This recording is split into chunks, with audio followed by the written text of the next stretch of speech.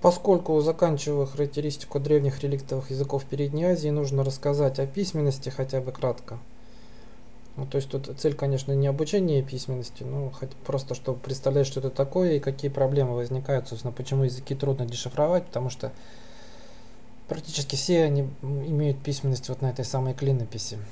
А, значит, 3200 год до нашей эры, первые надписи на этой системе то есть это одна из древнейших письменных систем человечества, скорее всего, раньше египетских иероглифов возникла.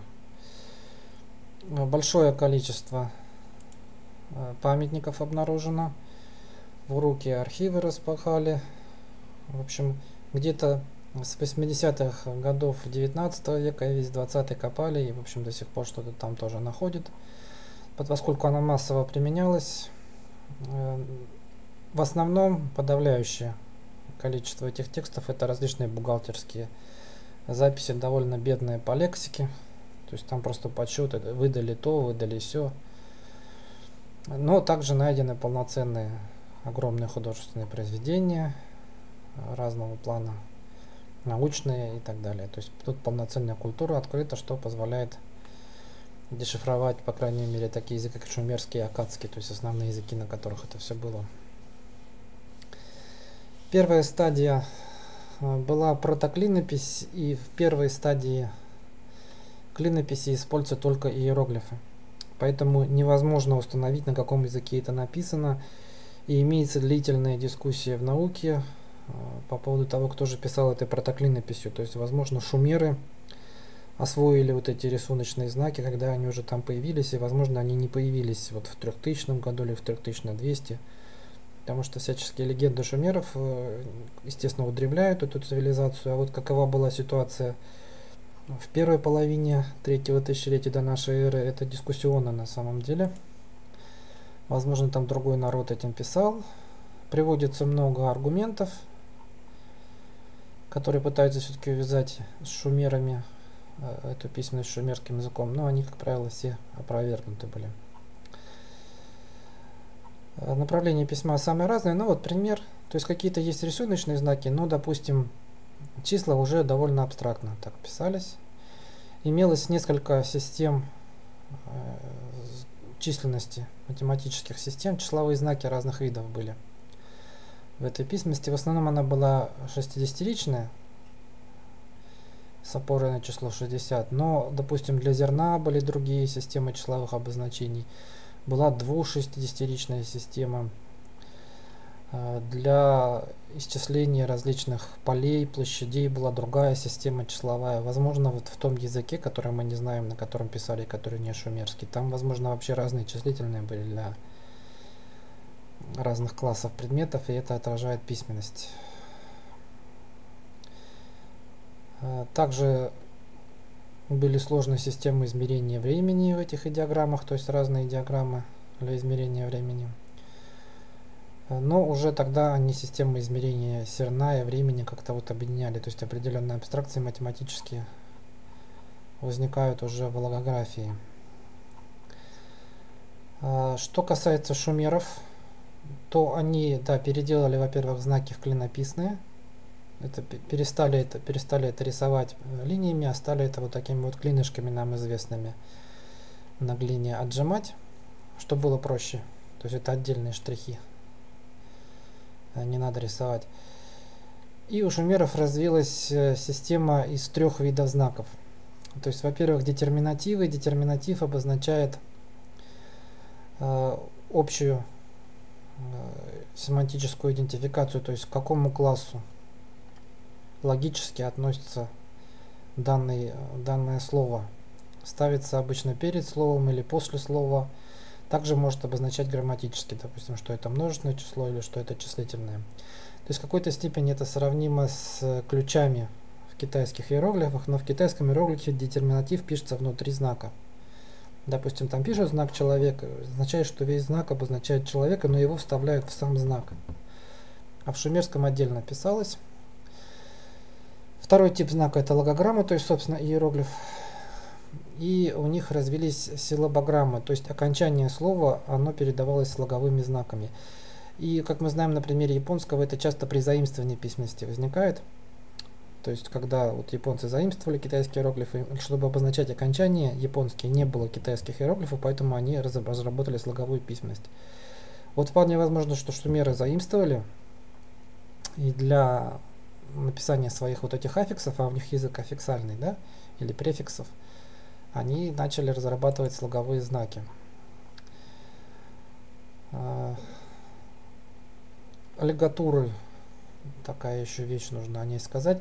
Они часто эти клинописные знаки делали составными, то есть вписывали один знак в, в другой, что позволяло вот это сложное значение передавать, вставляли там вовнутрь, справа, слева и так далее. Это все лигатура называется, единое написание. Ну, в общем, определенно э, шумеры примерно э, в середине третьего тысячелетия нашей эры точно уже этой развитой клинописью владели, и они уже передали ее семитам. То есть семиты точно уже через посредство шумеров, потому что они используют шумерские иероглифы. Но семиты были вынуждены развивать эту слоговую а, всю письменность, потому что для кучи всяких э, явлений уже семитского языка точно не подходили эти иероглифы, и у семитов еще больше развилась именно фонетическая часть языка, слоговые элементы. Примерно к середине третьего тысячелетия сложился общий вот этот силабарий, то есть слоговая письменность, которую понимали на всем Ближнем Востоке этого времени. Ее могли для шумерского языка использовать, для семитского языка и позднее для разных других языков использовали. 600 а, знаков классические. В классической форме вот эта вот письменность, которая применялась и для шумерского, и для акадского, содержит 600 знаков из которых порядка 50 слоговые. Ну, это, в общем, говорит о том, что достаточно легкое, потому что когда я японский учил, там порядка 2000 иероглифов как минимум надо было освоить, довольно сложных по написанию. Многие из них, которые особенно вот редко употребляются, они же и сложные по написанию. И, и две еще слоговые письменности, то есть там что-то 200 знаков минимум надо в японском знать, а тут 600, 600 это и иероглифы, и слоговые. То есть иероглифы они самые только частые понятия обозначали. А, довольно рано применялась это вот эблаидская еще клинопись, тоже третье тысячелетие, и для других языков, то есть не только для акадского или шумерского. Это была единственная система письменности, которую знали они на Востоке, поэтому когда новый язык пытался обрести письменность, они использовали эту. Ну вот силабарий можно посмотреть то есть вот, собственно, слоговые знаки это половина силабария. Я же пример просто привожу, не пытаюсь обучить письменности этой. То есть знаки могли быть как для открытого типа ба, так и для закрытого типа ак там и так далее. А когда, допустим, слог типа бах, то а, писали ба, ах. То есть так вот для первого типа и второго типа. Ну, японцам проще, потому что у них только открытые слоги. Ну, полный набор на 600 знаков, э, как пишут, редко применялся. То есть это особо крутые люди знали все 600 знаков. Как правило, какие-то выборки из этого. Допустим, если человек только бухгалтерскую документацию владеет, ему надо знать силабарий. Ну и штук так 100-150 иероглифов, которые обозначают числа и основные там вещи, типа зерно, там рабы, люди и так далее. Все. В принципе, освоить 100 знаков две недели при современных методиках обучения – Поэтому не знаю, что они там в школе годами учили. То есть освоить эту письменность в какой-то упрощенной форме можно за несколько месяцев. И в полной степени, я думаю, за полгода легко 600 знаков владеть, даже не особо напрягаясь.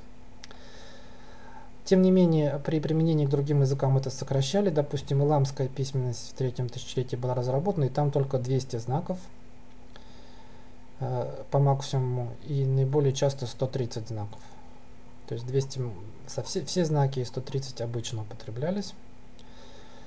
А вот это значит эламские фонемы, для которых применялись эти самые клинописные слоговые знаки. Но вот дело в том, что разрабатывалась слоговая письменность для шумерского. Естественно, она передает шумерские только звуки. Когда это переносится в другие языки, то э, начинают они игнорировать специфику этого языка и переда пытаться похожими шумерскими звуками передавать звучание этого языка, что вызывает потом проблемы в реконструкции, потому что языки точно там были разных семей, и у них точно там отличалась вся система фонетическая. И, то есть это все попытки передавать фонетическую систему одного языка через письменность, разработанную для другого языка. Но это все равно, что если бы мы все писали бы, допустим, японской слоговой письменности, а потом бы гадали, что это значит. Допустим, пытались звуки типа «жа», там, которых нет в японском, передавать каким-то образом японской письменностью. Более позднее это хетская Э, клинопись. Хетская клинопись довольно богатая, там 370 знаков, то есть они много иероглифов освоили. Они иероглифическую часть писали по-шумерски, прям шумерскими знаками, и окончание писали, все эти индоевропейские, они писали слоговыми знаками. Э, хетская клинопись довольно рано была унифицирована, имелась четкая хетская орфография. В эпоху, видимо, старохетского э, царства она была полностью унифицирована. Хуритская клинопись, в отличие от э, хетской, не имела четкой орфографии. Хуритские тексты без всякого порядка записывались то в вавилонской орфографии, то в хетской орфографии, то, в общем, была еще какая-то метанийская орфография, которая мало известна, но еще в Метане, в царстве, которое недолго просуществовало, пытались также собственную орфографию разработать, и она применялась для хуритского языка. Э, самая поздняя система урартская, ну, в общем, общая тенденция была к уменьшению числа иероглифов. То есть в уральской всего 100 знаков, из них 20 слоговых, и то есть ну, порядка 50-80 иероглифов только осталось, которые достаточно легко освоить. Вот, собственно, соответствие уральские. Вот. Ну, в общем, какие выводы? Очень много все равно, многие вещи обозначались иероглифами, допустим, числа. В результате звучание чисел в некоторых языках сейчас непонятно. И вот проблема в том, что фонетику каких-то кавказских языков, которые явно сильно отличаются от шумерского, все равно приходилось передавать через шумерские фонетические слоговые знаки. В результате как, какое-то представление мы можем составить о том, как это звучало, но каких-то точных, э, без наличия алфавита, приспособленного именно к этому языку, каких-то точных реконструкций часто трудно сделать.